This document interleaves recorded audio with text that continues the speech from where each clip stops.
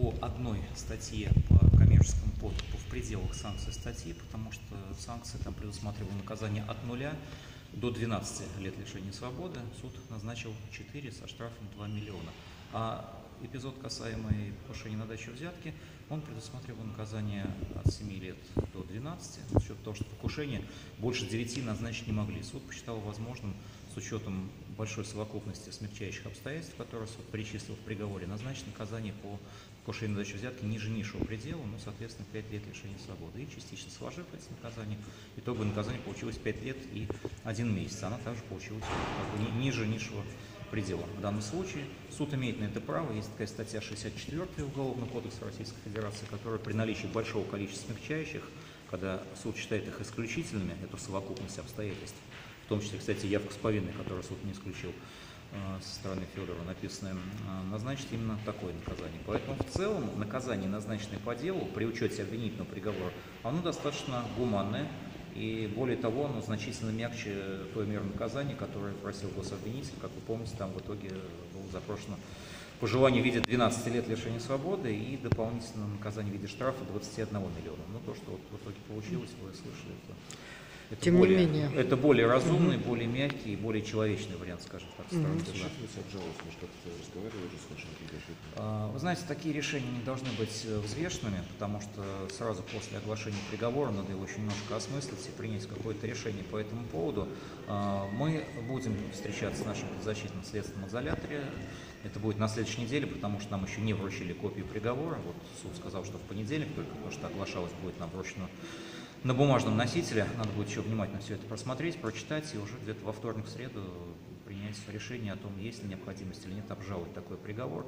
Но дело в том, что здесь какой-то компромисс, видимо, получился. С одной стороны, суд не согласился с нашими доводами о невиновности по обоим составам, а с другой стороны, назначил весьма мягкое гуманное наказание для обвинительного приговора по этим статьям. Поэтому, как в таких случаях говорят, искушать судьбу и подавать жалобу на вполне гуманный приговор в части мер наказания, ну, наверное, это было бы не совсем правильно, с позиции целесообразности. В любом случае решение должен принять мой подзащитный, с учетом его пожелания. Я либо буду готовить эту апелляционную жалобу, либо мы окажемся от ее подачи.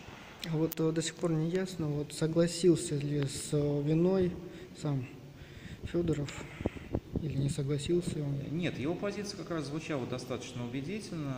Вы же, насколько я помню, на прениях э, были от начала до конца. Правда, потом еще было последнее слово, где он чуть дополнил мое выступление. Он э, не согласился в категоричной форме с обвинением в совершении в получении, точнее, коммерческого подкупа, потому что там действительно очень сложная ситуация. Я полагаю, что суд, конечно, здесь не очень обоснованно вынес приговор обвинительный по статье 204. А то, что касается покушения на дачу взятки, ну, там действительно есть спорные моменты. Был добровольный отказ, не было добровольного отказа, имела ли место провокация при передаче вот этой самой денежной суммы стороны оперативных сотрудников или все-таки нет. Там вот ситуация была 50 на 50. Но он в целом признал факты того, что они имели место, но посчитал, что, наверное, все-таки добровольно отказался от этого от этих действий, забрав эти деньги назад. Поэтому в целом можно сказать, что он вину, ну, наверное, частично признал по покушению на дачу взятки и, и не признал по коммерческому подкупу.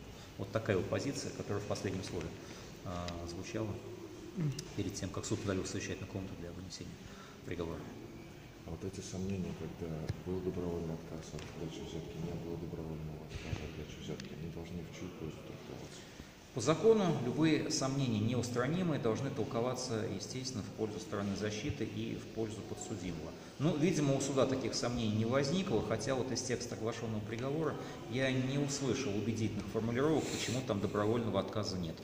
Так, в частности, судья сказал, что эти доводы опровергаются первоначальными показаниями Федорова, но Федоров первоначально как раз на эту тему там слишком подробно и обстоятельно ничего не говорил, там его показания первоначально как раз эпизода коммерческого подкупа касались, а не покушений на дачу взятки, и другими материалами уголовного дела, исследованным в суде. Какими именно другими, я как раз считаю, что вот и видеоматериалы, которые в суде исследовались, они как раз и говорят о том, что человек дает деньги, забирает деньги, и каких-то вот внешних факторов, почему он их забрал, на этом видео я лично не заметил, не обратил внимания. Может быть, судья что-то увидел такое, что не увидела сторона защиты, но, наверное, ей в приговоре был бы смысл указать об этом.